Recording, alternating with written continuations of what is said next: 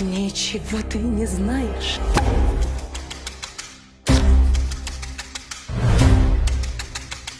Пять часов утра, милая. Что ты от меня хочешь? Задал тебе конкретный вопрос. Что ты от меня хочешь? А чего хочешь ты? Это мой вопрос, я тебя первый задал. Все. Никто не выйдет из этой квартиры, пока мы не закончим тут все наши дела.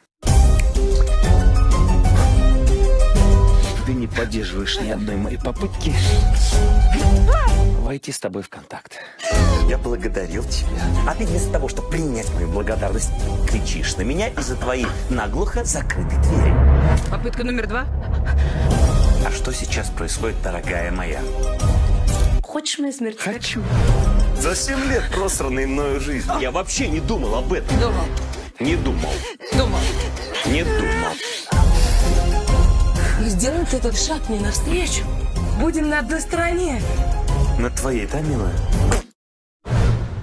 Семь лет я ищу твоего понимания. Я не могу отодрать. Ого. Хочешь меня, милая? Я хочу стать святой. Чё? Вот такой план. А, А, а.